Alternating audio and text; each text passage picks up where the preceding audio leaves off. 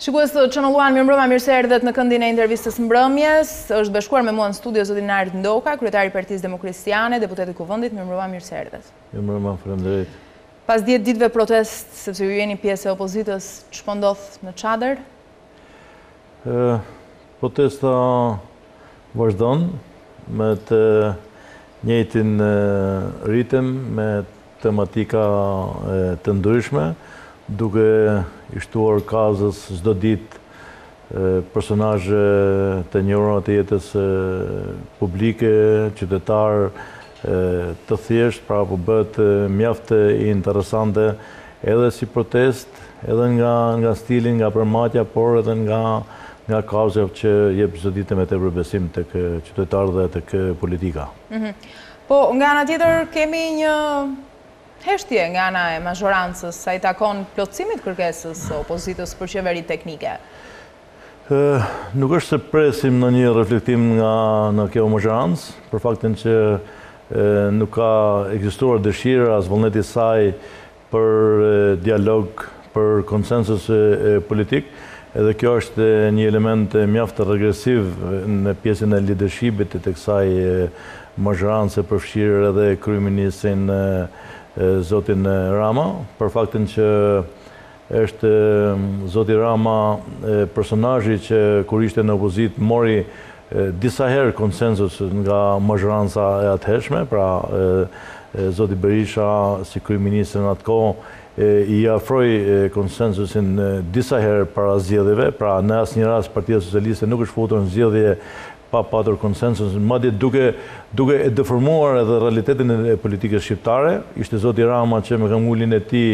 e shembi Kushtetutën, e ndryshoi atë për zgjedhjen e Presidentit të Republikës, pra nga një President me një shumicë të cilësuar ne kemi Presidentin e Republikës palë me një mazhorancë, duke u zgjedhur me një shumicë të thjeshtë dhe ishte këmbngulja e zotit Rama për të arritur një gjë të tillë, pra jo për standarde, por thjesht për të hequr disa pengesa që ai mos t'i kishte gjatë qeverisjes së tij.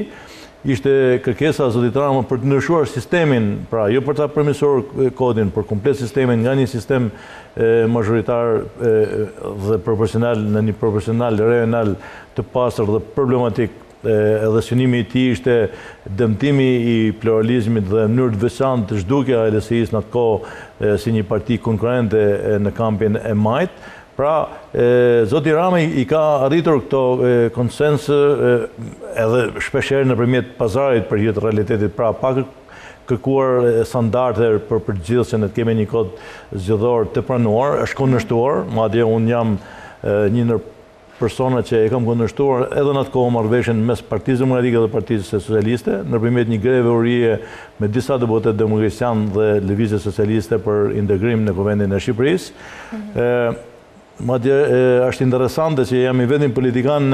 në politikën shqiptare që kam bërë tre greva për votën, pra kam qenë edhe bashkë me LSI-në, Kam protestuar edhe me Partinë Socialiste për votat edhe tashmë, pra se e cilësoj që është një kauzë shumë e rëndësishme vota, është reforma kryesore, reforma më e rëndësishme për politikën shqiptare që vota e qytetarëve të përfaqësohet denjësisht në parlament. Pra duke e parë në këtë kontekst, mhm. madje zoti Rama ka kërkuar dhe shtyrjen e zgjedhjeve, Me tre muaj, kur për zgjedhjet lokale, për kryetarë bashkie, thjesht për disa çështje teknike, certifikatash dhe Partia Demokratike ia ka ofruar përsëri konsensusin. Në një kohë që zoti Rama po tregon që nuk është një lider i kompromiseve, i konsensusit, është një lider është një lider që më tepër përpiqet ta dhunojë opozitën, sesa të krijojë dhe të pranojë sistemin e vlerave, garancitë kushtetuese që kërkohen në këtë rast. Ai bëri reformën territoriale në mënyrë të njëanshme, pra duke ndarë bashkitë e Shqipërisë, sikur të ishte pronë e Rilindjes dhe jo një përgjegjësi kombëtare e gjithë klasës politike shqiptare, e theu pra konsensusin në atë rast, organizoi zgjedhjet lokale përsëri pa konsensus me opozitën, Dhe është futur në një aventurë tashmë kundër të gjithëve, edhe për realizimin e zgjedhjeve parlamentare, përsëri pa konsensusin e opozitës. Nuk do të kishte të drejtën morale Partia Demokratike, nëse nuk do t'ia kishte ofruar Partisë Socialiste konsensusin gjatë viteve për reformën zgjedhore. Ndërsa sot, Është një PD, është një opozitë tashmë shumë herë më e madhe, që kërkon standarde, edhe për vetë Partinë Socialiste. Në fund të fundit edhe Partia Socialiste kishte kauzë hapjen e kutive, transparencën zgjedhore. Pra, kërkohet një reformë, kërkohet një standard që i vlen gjithë politikës shqiptare, ndërsa zoti Rama është futur në bunkerin e tij së bashku me me tre katër personazhe të cilët i tremben ballafaqimit me votën e qytetarëve i tremben reformat reale që do të pasojnë nga besimi që qytetarët do të kenë për ato forca politike që të marrin besimin dhe qeverisin nesër. Në fakt ju po thoni që nuk besoni në reflektimin e zotit Rama të mazhorancës në tërësi. Atëherë kush do e plotësojë kërkesën e opozitës për qeveri teknike dhe ç'do të ndodhë nëse kjo kërkesë nuk plotësohet, sepse protesta po zgjat e po zgjat. Kjo është edhe arsyeja, pra duke qenë të bindur tashmë se zoti Rama e ka kthyer në filozofi, pjesën e luftës ndaj opozitës si institucion, pra opozita në vetvete është një institucion, është një garanci kushtetuese edhe për vetë sistemin, protestat do ta detyrojnë, do ta gjunjëzojnë zotin Rama drejt një dorëheqjeje të pashmangshme Pra, nëse ai do të vazhdojnë me këmbënguljen e tij që ta përfundojnë mandatin deri me tetëmbëdhjetë qershor, besoj që është një aventurë shumë e rrezikshme për veten e tij personalisht, por edhe për vendin, për faktin që protestat do të jenë në rritje akoma më të mëdha se sa se sa i kemi parë deri deri deri tashti dhe pastaj i përfunon mandati kushtetues dhe do të jetë opozita ajo që do t'i diktojnë rregullat e lojës, pra ato që ne i kemi Sot kërkesa të qarta zyrtare nesër do të jenë të detyrueshme për t'u zbatuar nga gjithë klasa politike shqiptare për të miratuar të gjithë së bashku një qeveri teknike për të shkuar drejt drejt zgjedhjeve duke përgatitur terrenin për t'i bërë ato të lira dhe të barabarta për të gjithë. Në fakt, Zoti Basha herë pas here ka paralajmëruar edhe, le të themi, agresivitet të protestës. Sa mund të ndodhë kjo? Zoti Basha është një lider me një format tipik perëndimor, pra nuk ka lidhje me dhunën, e demonstroi një gjë të tillë, madje është protesta më e madhe e organizuar në këto njëzet e pesë vite pluralizëm, dhe ishte model për nga forma e organizimit edhe ajo që vazhdon në çadrën e lirisë përsëri është mjaft qytetare, është mjaft civile, por herë pas here zoti Basha normalisht i përgjigjet venimeve, provokimeve që merren nga kjo mazhorancë, nga segmentet e saj, iu drejtua televizionit publik shqiptar, është një televizor që paguhet, nga taksapaguesit shqiptarë dhe është i detyruar për të pasqyruar aktivitetin më të madh të klasës politike shqiptare, asaj të opozitës në në një protestë dhe televizori publik vazhdon në mënyrë të njëanshme, vazhdon duke promovuar thjesht liderin e mazhorancës, vazhdojnë pushimet nga puna, Dhe në këtë rast, padiskutim që ishte një reflektim i zotit Basha, i egër ndaj këtyre uzurpatorëve të këtij institucioni dhe kjo është fare normale, pra rritja e tonave, por edhe e situatës, e nxehtësisë së protestave do të jetë në rritje dhe kjo është e kuptueshme kur ke përballë një mazhorancë apo disa institucioneve, që akoma punojnë në mënyrë të verbër duke shkelur ligjin, duke shkelur garancitë kushtetuese që opozita i ka. Si i gjykoni apo më saktë komentoni ju lëvizjet e fundit në kuadër të ligjit të dekriminalizimit, jo më larg sesa sot dorëzoi mandatin deputeti Prenga? Është e turpshme për për këtë mazhorancë, realisht është shumë e turpshme, habitem madje edhe me zotin Rama, Unë normalisht kam patur një lloj besimi tek zoti Rama që do të orientohet drejt. Kuptohet që e bëri e bëri goxha pis jo vetëm veten e tij, por edhe politikën shqiptare edhe në sytë e ndërkombëtarëve imazhin e Shqipërisë duke duke futur disa disa kriminelë në parlament, jo një dy po disa prej tyre prej tyre me emra të ndryshëm me me me ngjarje që realisht nuk do të kishim dëshirë që këto personazhe t'i kemi t'i kemi në lagje, t'i kemi komshi dhe jo jo t'i kemi t'i kemi kolegë në në në parlament. Dhe zoti Rama nuk nuk orientohet për t'i larguar, për t'u distancuar nga to, po i del në në mbrojtje, madje një pjesë që Tashmë janë jashtë parlamentit, janë në grupet e punës të Partisë Socialiste, i drejtojnë fushatat, ushtrojnë presion në ato zona, pra janë akoma të plotfuqishëm, pavarësisht se janë larguar në aspektin institucional formal, ato vazhdojnë të jenë krahu i djathtë i Edi Ramës në këtë fushatë dhe kjo kjo besoj që e cenon rëndë imazhin e kryeministrit dhe të vendit. Ne pamë një komision qendror të zgjedhjeve, totalisht të kapur, jo profesional, me mungesë etike, kur prokuroria i kërkon me fakte,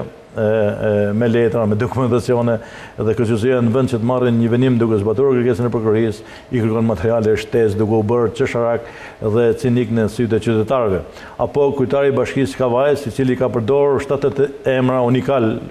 një qytetar i thjeshtë do ta kishte për turp që që që të vazhdonte edhe në qoftë se është një biznesmen i thjeshtë nuk do t'i hynte njeri në anë në në në lokalin e tij, ndërsa ne kemi një personazh që thotë akoma jam kryetar i bashkisë Kavajës, kemi ministrat e Ramës që shkojnë dhe dalin përkrah tij dhe i drejtohen me me funksionin e tij si kryetar bashkie. Pra këto e kanë bërë të pabesueshëm dhe e, e kanë rritur agresivitetin e opozitës Që shohim që zoti Rama edhe pjesën e dekriminalizimit e ka thjesht demagogji dhe përpiqet gjithë këto grupe kriminale,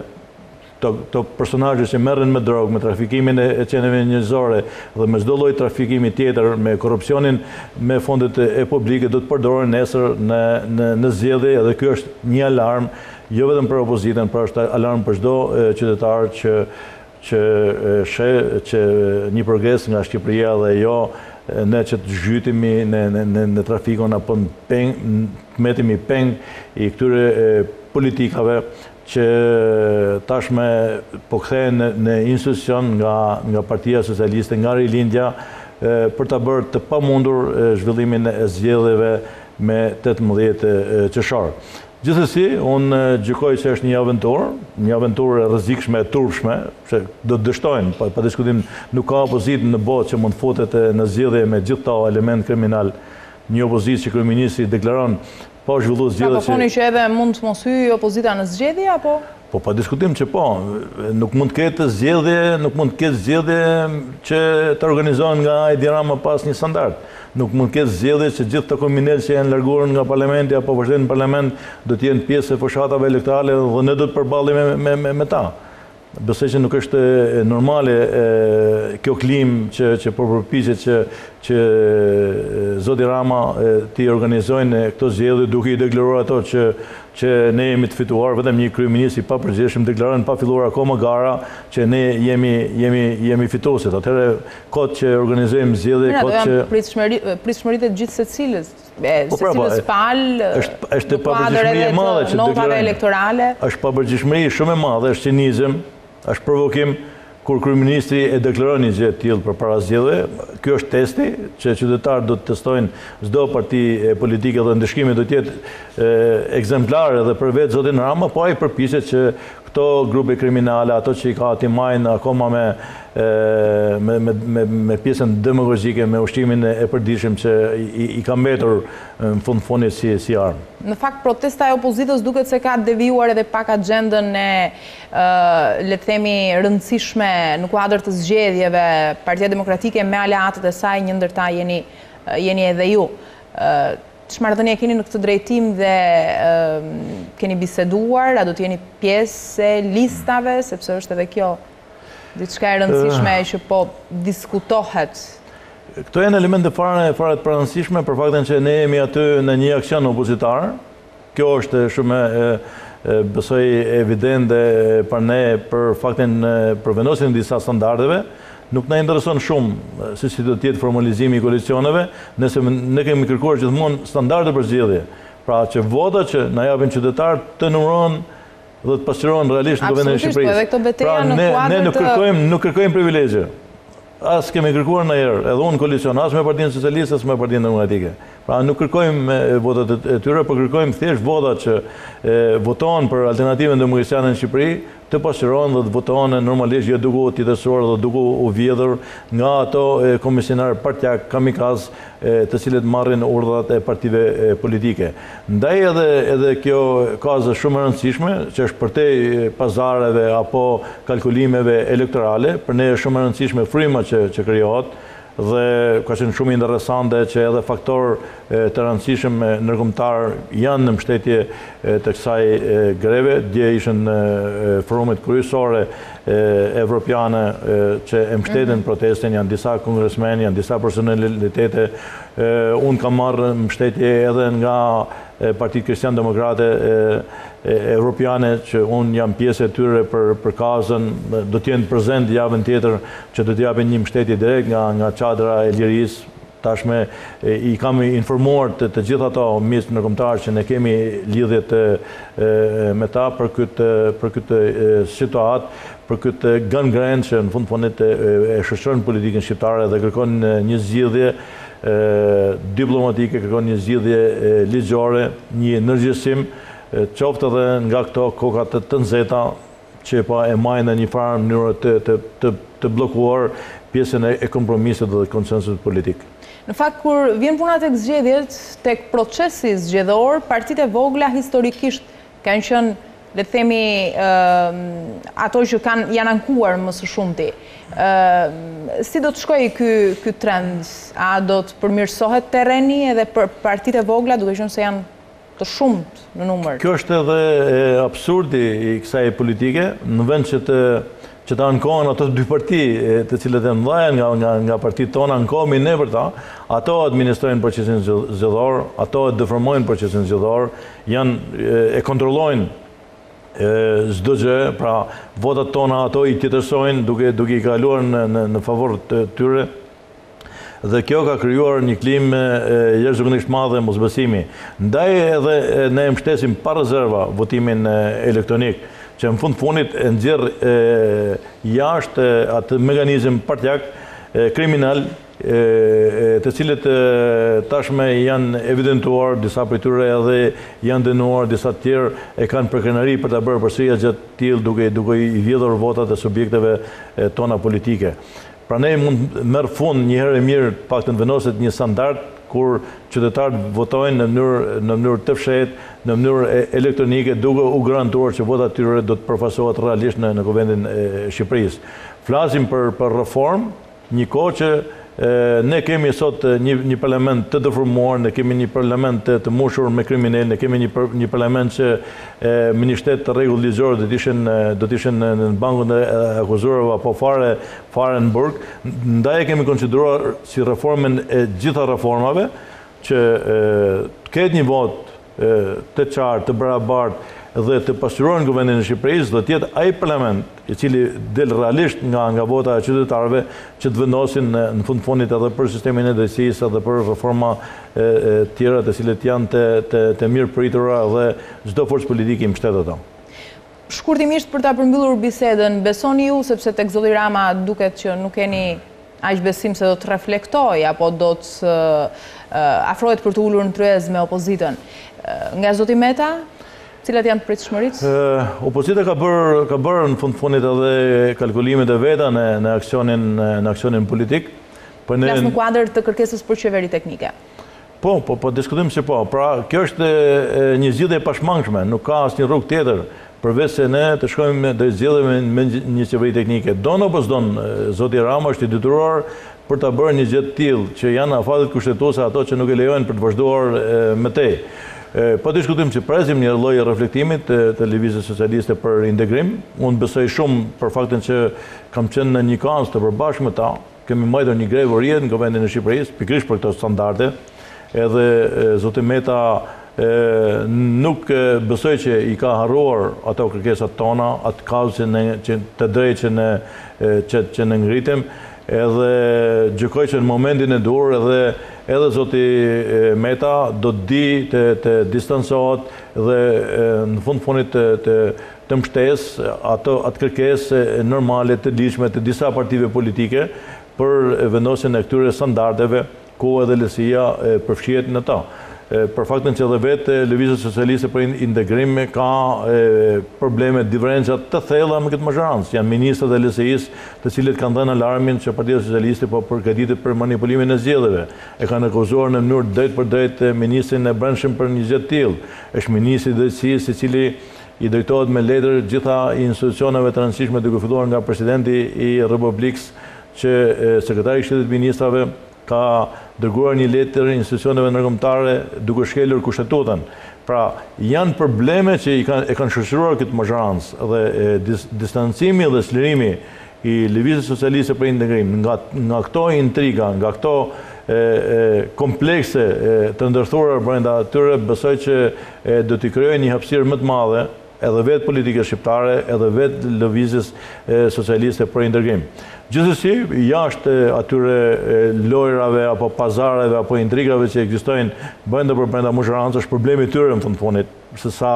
ato reflektojnë dhe janë të përgjegjshëm edhe për edhe për realitetin e ri, opozita tashmë Përtej atyre pritshmërive që mund të ketë, unë vetë personalisht duke e njohur zotin Meta nga afër, duke i njohur dhe duke qenë pjesëmarrës në disa kauza të përbashkëta, besoj shumë që ai i ka dhënë shenja që do të ketë një distancim të qartë nga aventura e rrezikshme e zotit Rama për organizimin e zgjedhjeve, për hapësirën për opozitën, për mungesën e konsensusit politik, për bllokimin e dialogut, për tendencën që ai ka edhe për reformën, për vettingun, për ta bërë në mënyrë të njëanshme, në mënyrë të fshehtë, duke goditur edhe aleatin e tij në qeverisje, duke u përpjekur që të godasin edhe opozitën. Falenderoj shumë për këtë bisedë. Ju falenderoj ju për mundësinë. Shikues të Channel One, do të ndahemi këtu së bashku intervista e mbrëmjes rikthehet sërish nesër, natën e mirë. Faleminderit.